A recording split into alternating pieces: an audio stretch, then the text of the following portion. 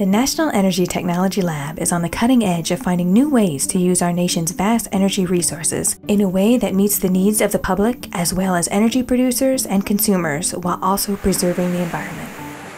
NETL is one of the 17 U.S. Department of Energy national labs. For more than 100 years, NETL has helped develop the tools that provide affordable, reliable, and domestically produced energy to the public while also pursuing technological innovations to overcome the challenges of tomorrow. NETL's three labs are located in Morgantown, West Virginia, Pittsburgh, Pennsylvania, and Albany, Oregon. NETL employs an impressive roster of researchers across a variety of fields, including many winners of prestigious R&D 100 awards.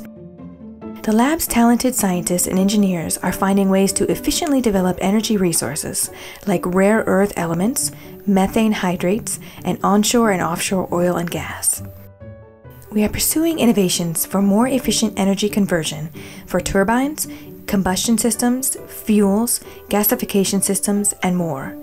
And we're striving to ensure our energy needs are met while stewarding our natural resources by advancing carbon capture and storage technologies.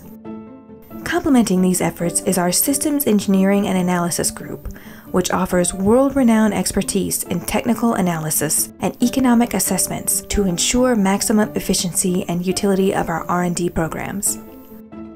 Through NETL's Technology Transfer Program, we ensure innovations developed in the lab are used where they're needed. We collaborate with industry, academia, state and local government, and non governmental organizations in many ways in a broad portfolio of technology research projects. The lab's annual budget is nearly $1 billion, and its research investment includes more than 900 research activities in all 50 states and including more than 600 performers. These endeavors are driving the nation forward.